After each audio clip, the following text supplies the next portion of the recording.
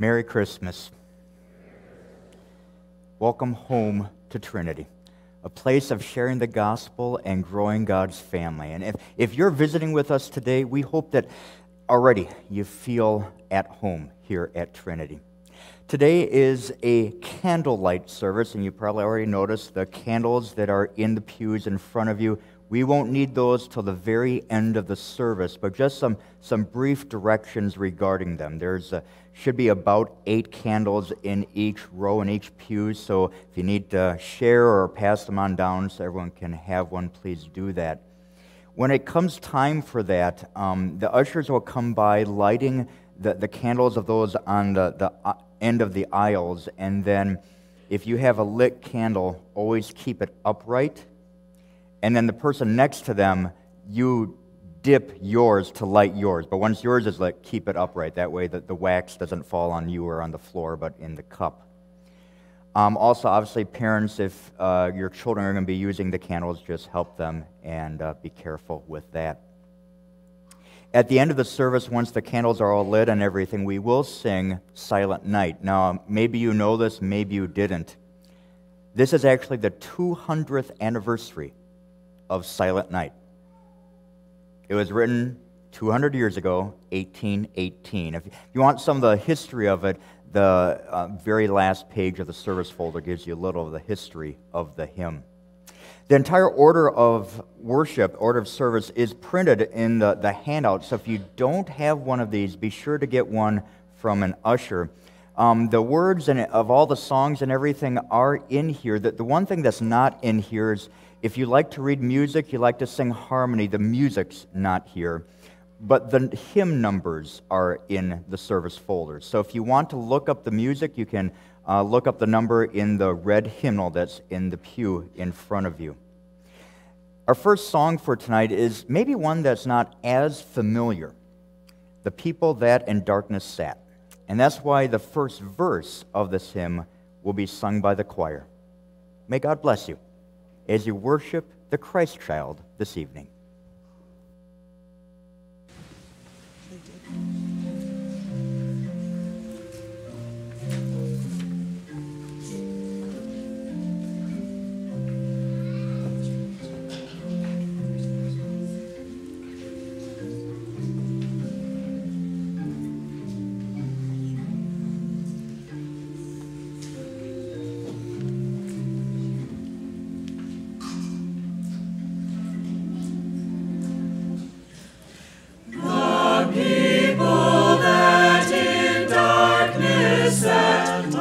Lord.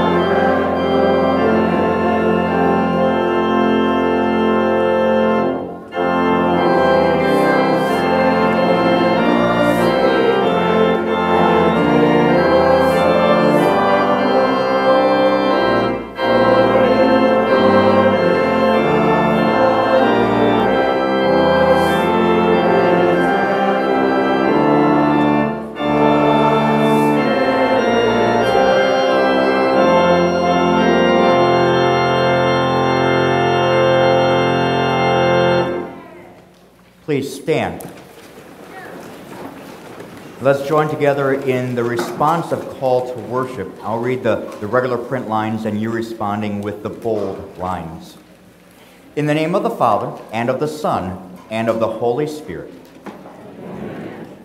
The people, walking in darkness, have seen a great light.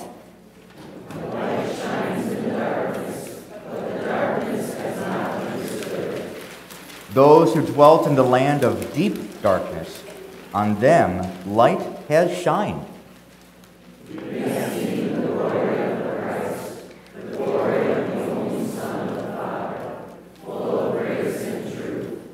To us a child is born, to us a son is given.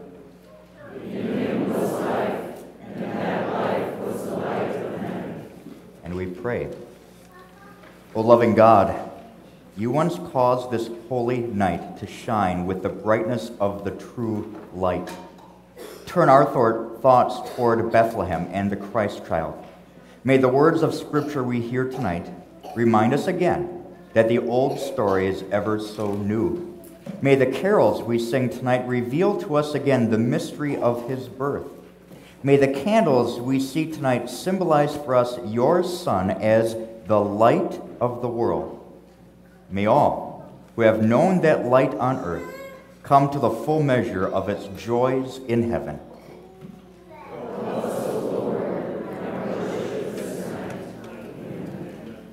Please be seated.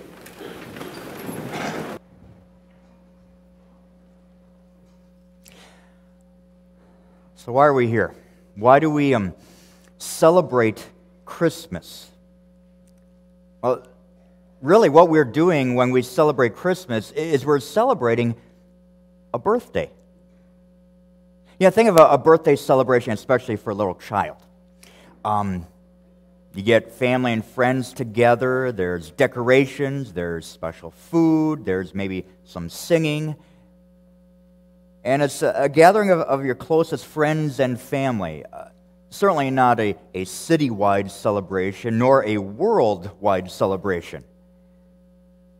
And yet, that's exactly what Christmas is. Is a worldwide birthday celebration.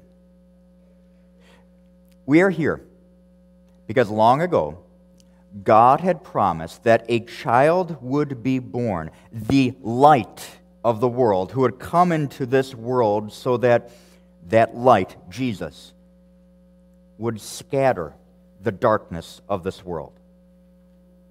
Long ago, the, darkness of sin came into God's perfect world. It, it happened when the devil, disguised as a snake, tempted Adam and Eve to disobey God, and they gave in. And as a result, darkness came the darkness of pain, the darkness of disease, the darkness of suffering and struggle, the darkness of death, the darkness of everything that's bad. But God didn't let Adam and Eve wallow in their dark despair. He gave them a glimmer of hope. He gave them a glimpse that the light would come and scatter the darkness. Listen to this record of, of the darkness coming, but then also God's first promise of a Savior. This is from Genesis chapter 3. Uh, the first five verses are printed in your service folder, but there are more verses that I'll read. Now the serpent was more crafty than any of the wild animals the Lord God had made.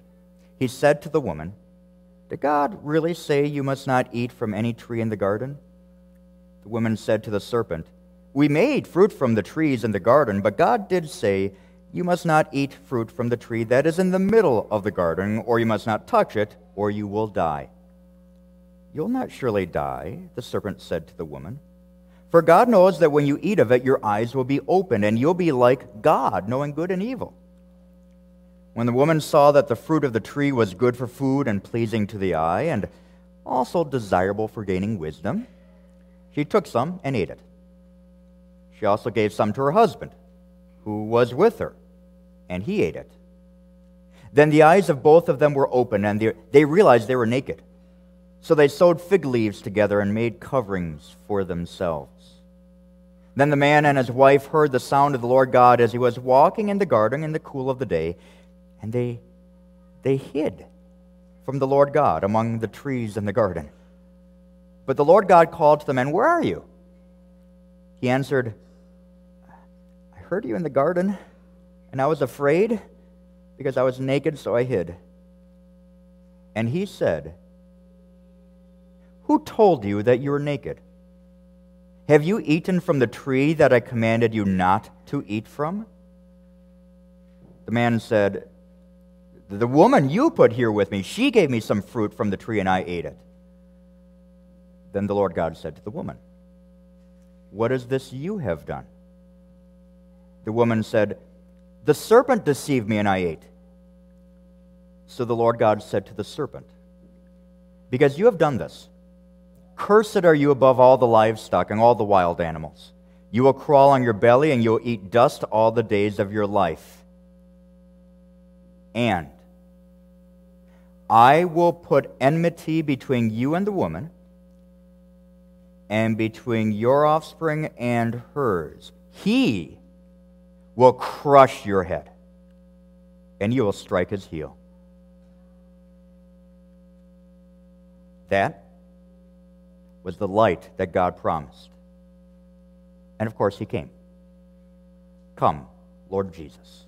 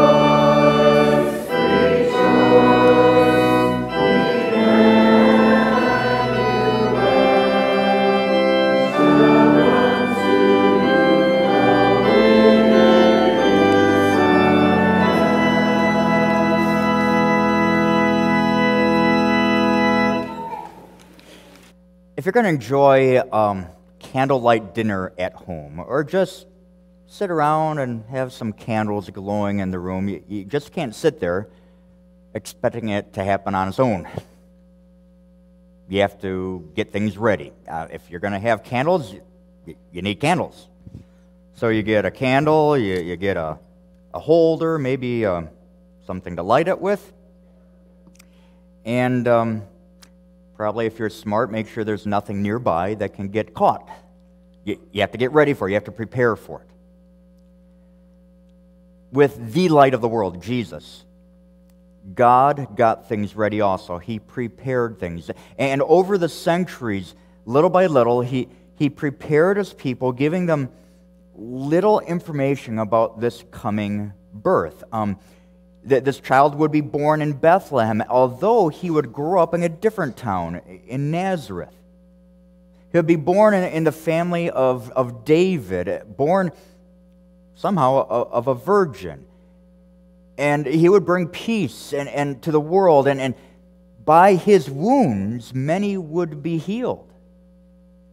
Eventually, almost all the preparations had been made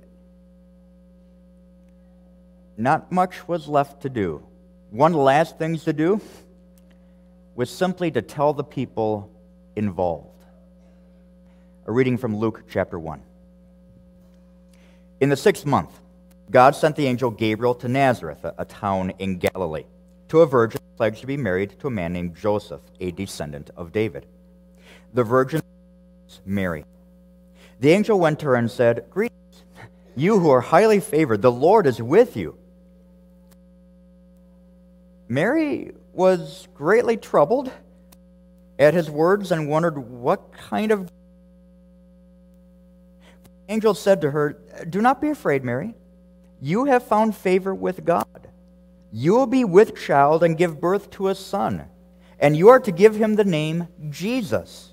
He will be great and will be called the Son of the Most High, the Lord God will give him the throne of his father David, and he will reign over the house of Jacob forever. His kingdom will never end. How will this be? Mary asked the angel, since I'm a virgin? The angel answered, The Holy Spirit will come upon you, and the power of the Most High will overshadow you. So the Holy One to be born will be called the Son of God. Even Elizabeth, your relative, is going to have a child in her old age, and she who was said to be barren is in her sixth month. For nothing is impossible with God.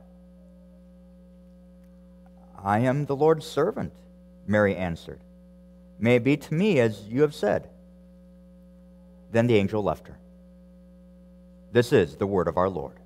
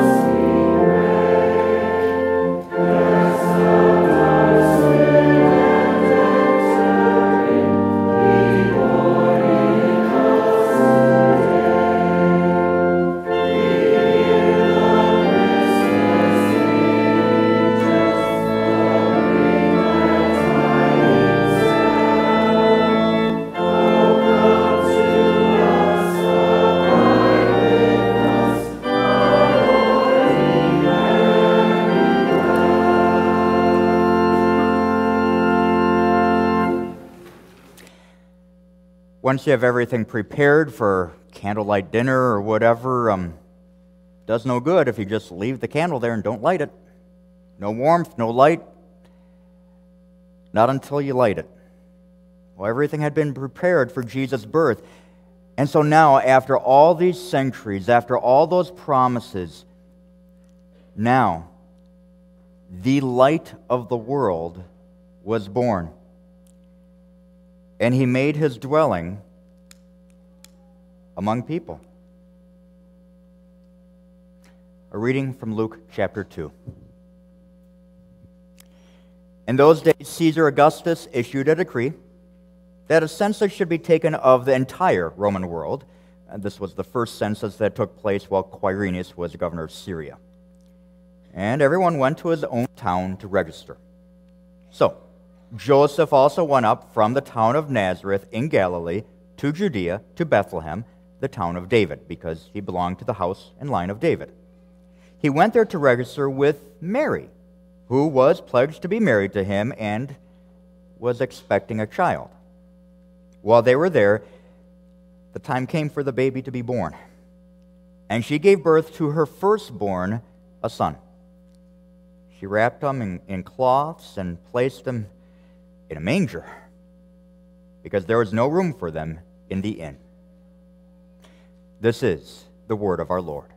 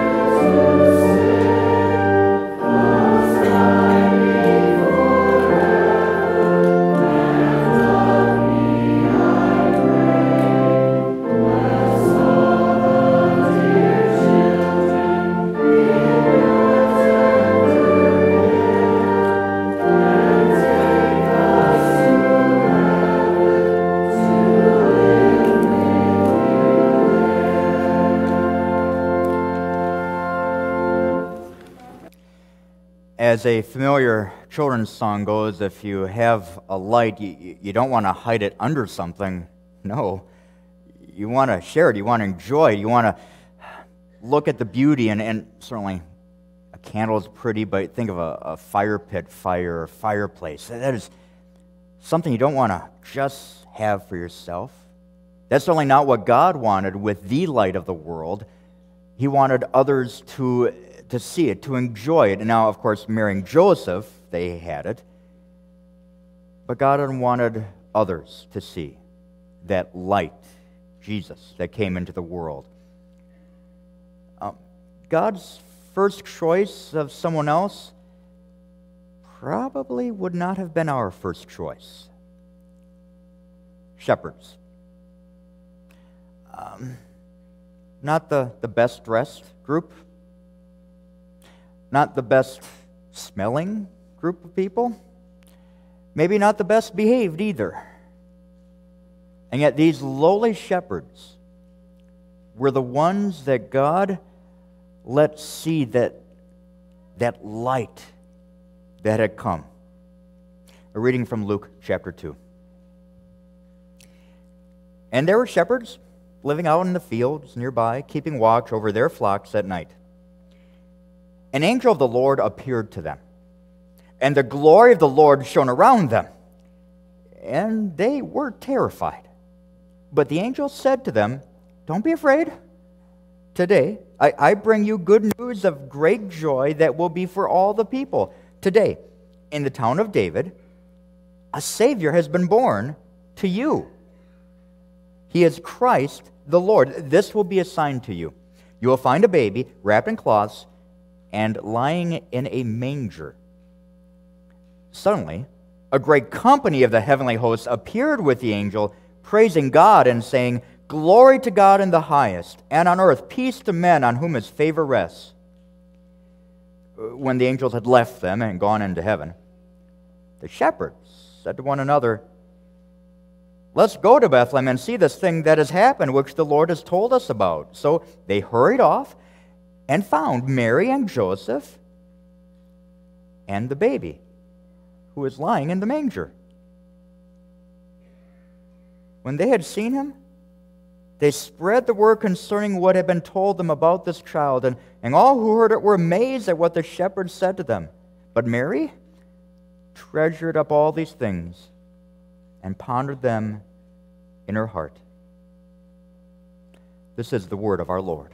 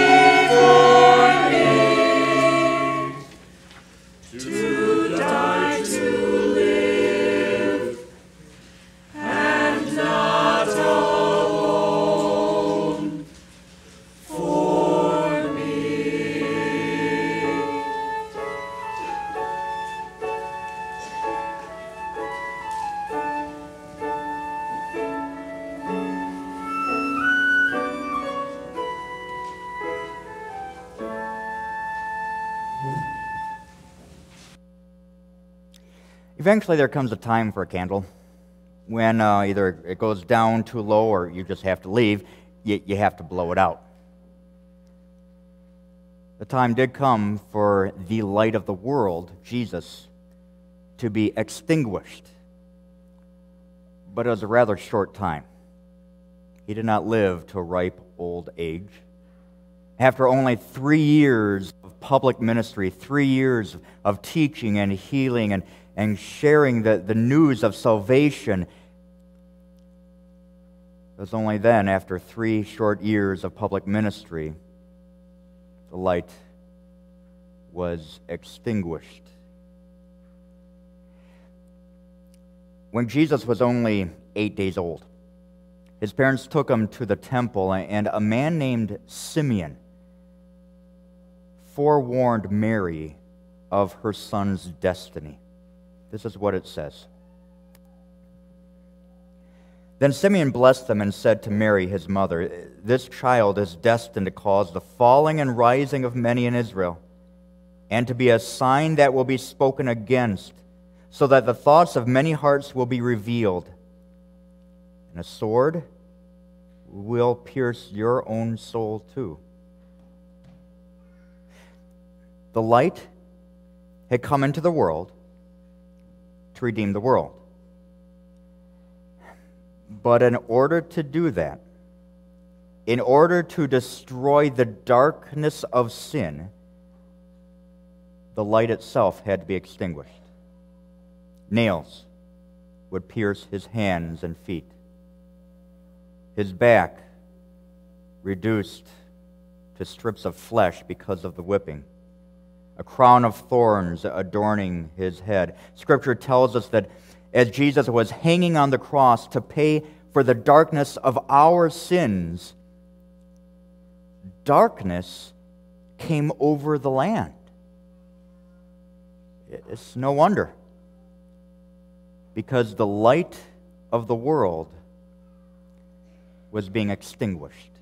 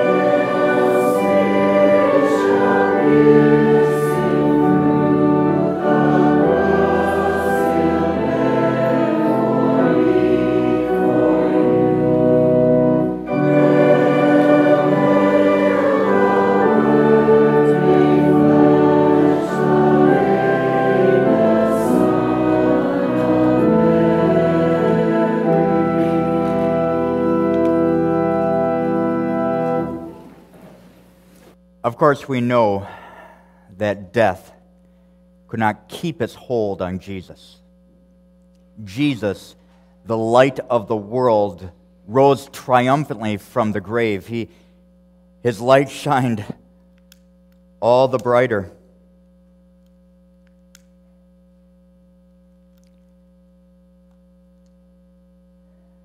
You know, light changes things. Very obviously, you turn light on, it, it changes what the room looks like. I, I don't know what it is about our bedroom, but the lighting in my bedroom is such that um, I think I'm wearing black pants. And then I go out in different lighting, and nope, they're green. Or they're blue. You can get rings or, or, jewelry that has certain stones that change their color depending on the light. Light changes things. How very true when talking about the light, Jesus. He changes things. He gives hope in the darkness of our lives. He, he gives confidence that our loved ones will rise from the dead just as Jesus rose from the dead. He gives us purpose in our lives. Seeing the light of the world changes lives, and that was certainly true for the shepherds. Look what it says in Luke 2. The shepherds returned, glorifying and praising God for all the things they had heard and seen, which were just as they had been told. Now, tonight we're going to see a, a very visual reminder of exactly what the shepherds did, and also what God wants us to do. Tonight, as we light our candles in a few minutes, we're going to light it from the center candle here in the wreath. That, that center candle is called the Christ candle. And so we light candles from that, and, and then that light is, is used to, to light someone else from one person to another to another. And we will visually see exactly what God wants us to do share that light with others, just like the shepherds did, to, to, to share the light of Jesus at home with, with your spouse, with your children, with, with your grandchildren, to share it with, with your neighbor, the, the person down the road. And hey, maybe you're here tonight because someone did that with you. Let us all share the light of the world with, with the words we use, with with our offerings, with our actions, with our attitudes. At all times, share that light. Amen.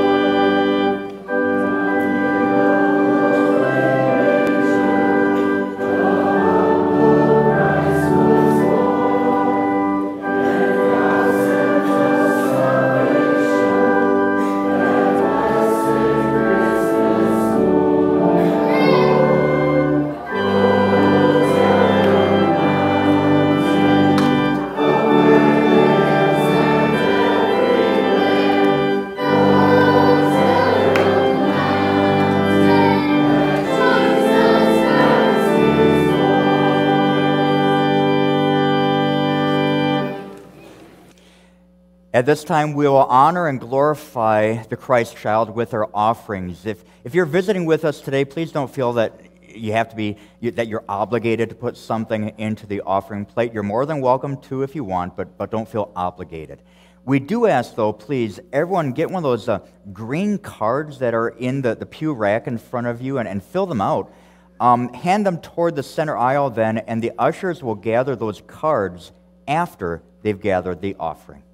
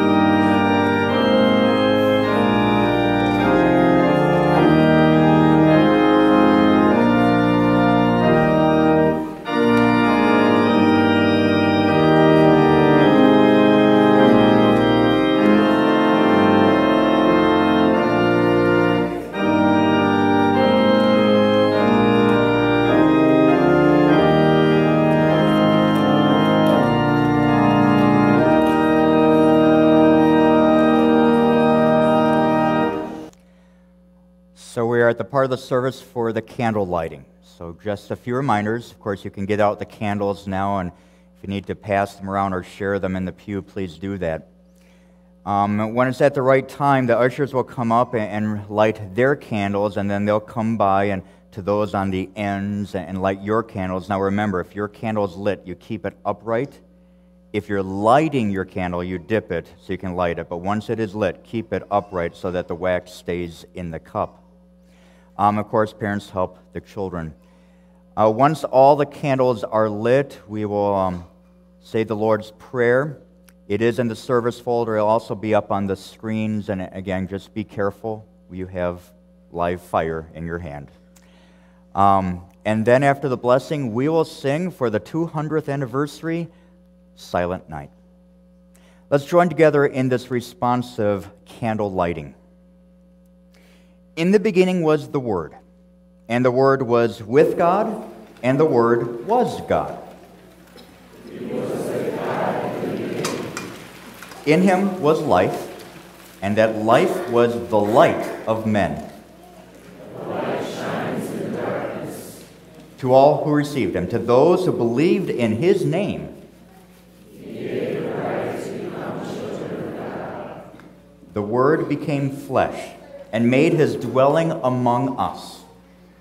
We have seen his glory, the glory of the one and only, who came from the Father, full of grace and truth. We light our candles.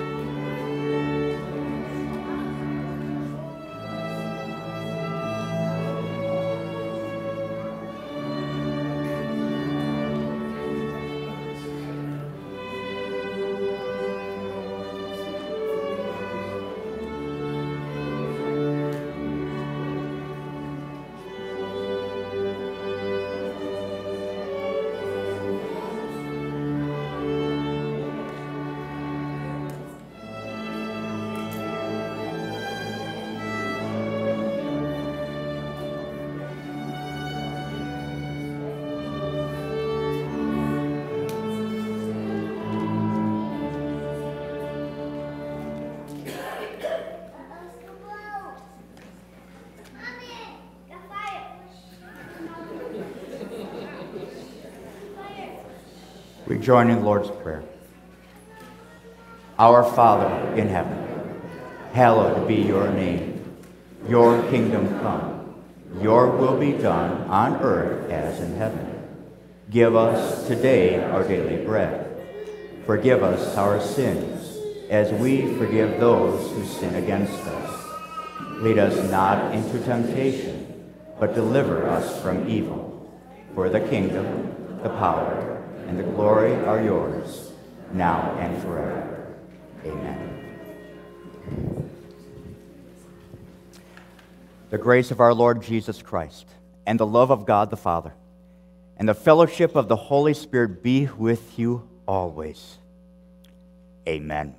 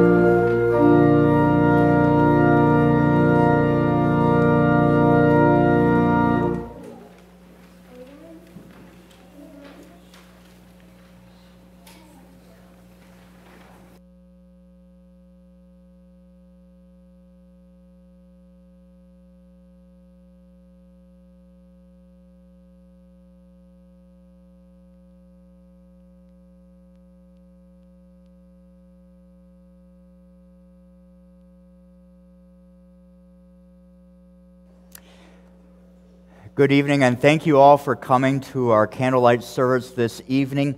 Um, just a reminder if you can, obviously, once the candles are extinguished, put them back where you found them so that the next service can uh, have them and then the service after that. As you leave, there are going to be some goodie bags for children filled with candy and all sorts of fun stuff. Um, there are a few bags that do not have peanuts in them, so if you need that, please let an usher know and they'll get you one of those bags. Um, also, if you're not going to be, um, if you don't want to take the worship folders home, you can just uh, return them to an usher or put them on, on the, one of the chairs in the back there. And as you leave, the ushers will come up and usher you out. And if you do not have a church home, we would love for you to, to make us your home. Uh, we have a, a, Christmas Day service tomorrow at 10 o'clock in the morning, and normal Sunday services are at 8, 9.30, and 11 o'clock in the morning. Have a blessed evening and a Merry Christmas.